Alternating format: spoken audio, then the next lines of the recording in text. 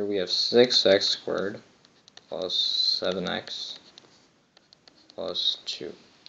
So before we go on, uh, it's helpful to review the that each quadratic has an a, b, and c term.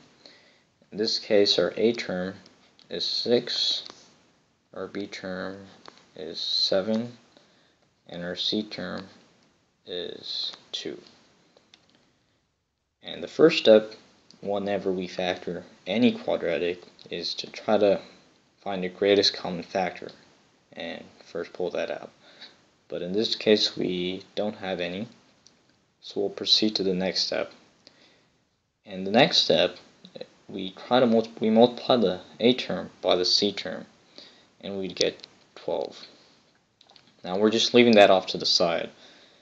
And what we try to do is we try to find uh, two numbers that would multiply to give us 12, but would add to give us 7, our b term.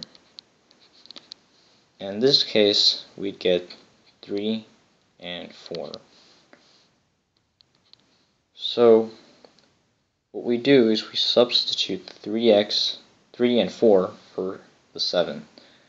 And once we do that, we'd get 6x squared plus 3x plus 4x plus 2. At this point, we group the first two terms together and the second two terms together and try to pull out a common factor. So in the first uh, set, we'll pull out 3x and we'd get 2x plus 1.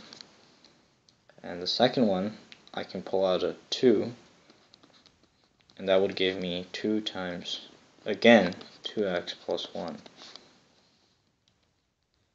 So here we have a shared factor, so we can just uh, simplify this as 3x plus 2 times 2x plus 1. And that's how you do it.